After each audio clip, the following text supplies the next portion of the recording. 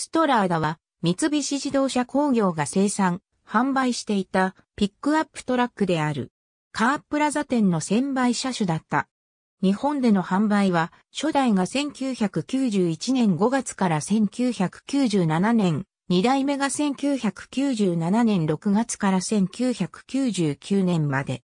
ちなみに、フィアットがブラジルで生産しているピックアップトラックにストラーダという社名のピックアップトラックがあるが、三菱のものとは無関係。1986年、ホルテの後継者として登場。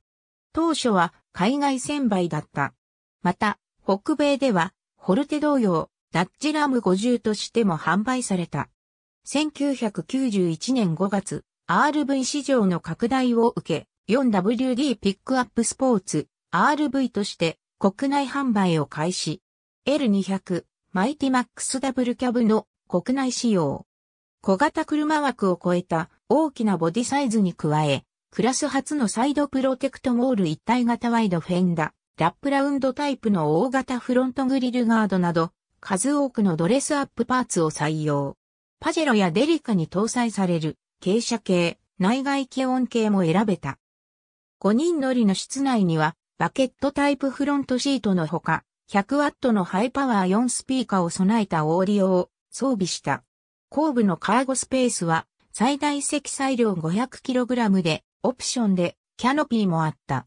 エンジンはトルクフルな 4D56 型2.5リットル直列4気筒 OHC8 バルブディーゼルターボで最高出力85馬力。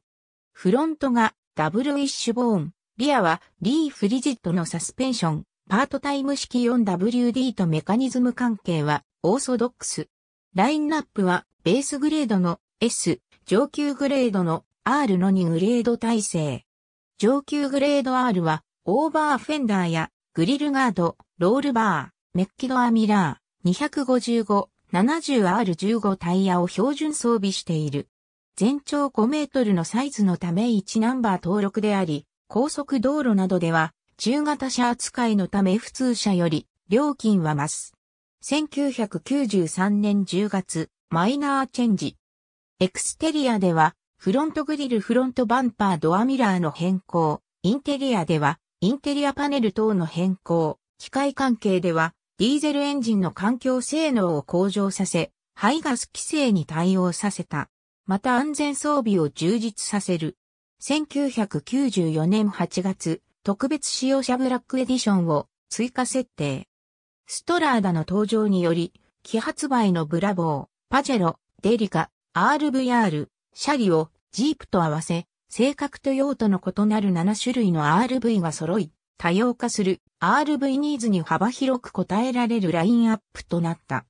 1996年、海外向け L200 を10年ぶりのフルモデルチェンジをして登場。1997年6月2日、国内向けストラーダもフルモデルチェンジ。L200 ダブルキャブ 4WD を国内仕様としたもの。生産はタイのラム茶番工場で生産され、1グレードのみ。同社のタイ現地合弁企業である MMC シティポン CO リミテッドで海外現地生産者としては同社のエクリプス、ディアマンテワゴン、カリスマに次いで4番目の輸入車として国内で販売となった。新型ストラーダは個性的、先進的で乗用車用途にも適したピックアップとして内外のデザインを一新。エクステリアでは初代同様ダブルキャブのみのボディは変わらず全体的に角が取れ、より丸みを帯びた滑らかなデザインに変化。迫力ある大型フロントバンパー。ワイドなオーバーフェンダーの採用と、フラッシュサーフェス化されたボディ面や、スラントノーズ、傾斜ウィンドシールドによるエアロダイナミックスタイルにより、オフローダーの力強さと乗用車の洗練されたイメージを両立させた。インテリアでは快適で操作性の良い乗用車感覚の使い勝手を考え、成形度アトリムや大型パッドにより乗用車感覚のソフトで一体感のあるラウンドインテリアとした。インパネは視認性、操作性の良い位置に、大型メーター、3連メーター高く計器類を配置し、使いやすさを重視。ハンドルポジションを乗用車間隔の扱いやすい位置に配置して快適な運転姿勢を確保し、前席にはサポート性の良い大型スポーツシートを採用し、前後スライド量も十分に確保した。クラス最長、最大幅のカーゴボックスにより使いやすさと搭載性を備え、5人の乗員が大型レジャーグッズを積んでも余裕を持って目的地に行くことを可能にし、快適トランスポーターとして仕事にも遊びにも幅広いニーズに対応できる車とした。カーゴボックスの構造は強度、防錆、見栄えに優れたダブルウォールを採用し、さらに使い勝手に優れたワンタッチが高い兵式のテールゲートや荷物の固定に便利なインナーフックを採用した。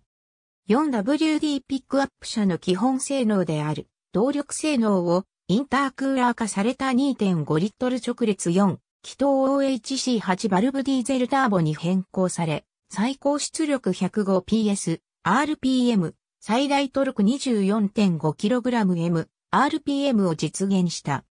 スモークを低減させて排出ガスを浄化し、クリーン度を高めながら、エンジンの各所で、シリンダーブロックの合成アップ等振動、騒音低減の工夫をし、乗用車並みの静かな室内音を確保した。5速 MT の他に AT が追加された。このストラダとして初採用の AT は、パジェロで実績のある小型油圧制御式をチューニングしたものである。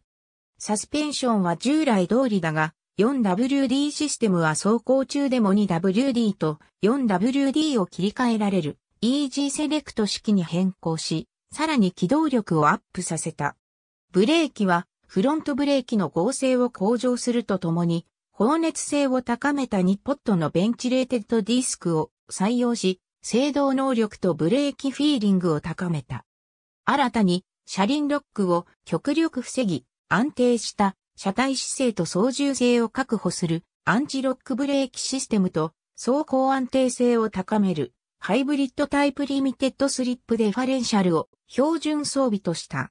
タイヤは 3110.5R の大径ワイドタイヤ 7JJ15 のアルミホイールを標準装備とし、高い操縦安定性、快適な乗り心地を実現した。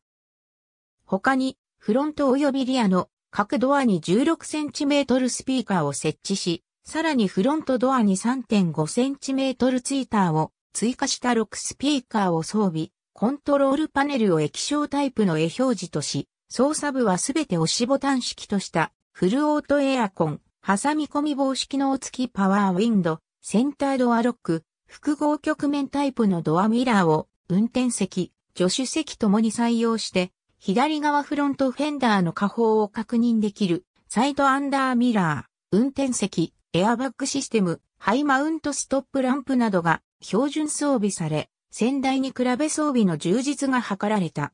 逆に先代で標準装備であったカーゴスペースのロールバーリアゲートデカールはオプションになった。1998年9月、マイナーチェンジ。ヘッドライトとフロントグリルのデザインを変更。ボディカラーは2トーンの2タイプに集約。室内はステアリングとシート値を変更。助手席、エアバッグ追加やエンジン吸気音低減などもいった。また2代目販売に合わせ、三菱自動車テクノサービス、ワークス系の協力により、オフロードイメージをより強調したヘビーデューティーなドレスアップ特装限定車、デザートクルーザーが全国のカープラザ系販売会社から同時発売された。外観では、ボディサイドデカール、リアゲートデカール、ボディと同色のフロントグリルを標準装着。オフロード装備では、4連フォグランプランプバー、エクシードバイザー、大型マットフラップを標準装備。また、電動アウタースライドガラスサンルーフ、4連、ワークランプロールバー、16インチアルミホイールタイヤがオプション設定された。1999年、日本国内の販売終了。2001年、海外向け L200 をマイナーチェンジ。丸型ヘッドライトに変更。2006年、生産終了。2008年、インドネシアにおいて販売終了。イタリア語で道を意味する。ありがとうございます。